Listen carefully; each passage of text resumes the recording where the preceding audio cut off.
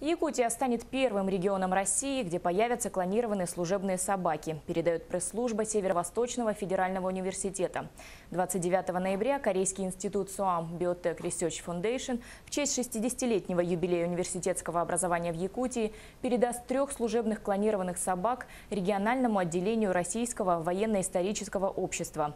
СФФУ, как многолетний научный партнер Корейского института, выступает посредником при передаче, сообщил заведующий лабораторией музей Мамонта СФФУ Семен Григорьев.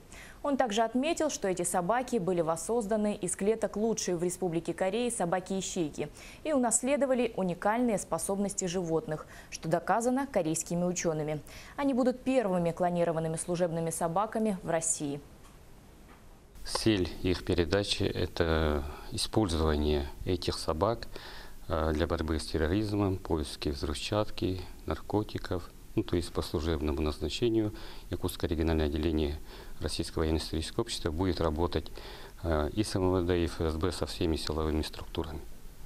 Э, собаки будут переданы, э, уже договор дарения мы подписали, и сам Корейский институт, наш партнер, передал, подарил безвозмездно этих собак нашему университету, и университет, в свою очередь, э, должен передать Якутскому отделению РВИО.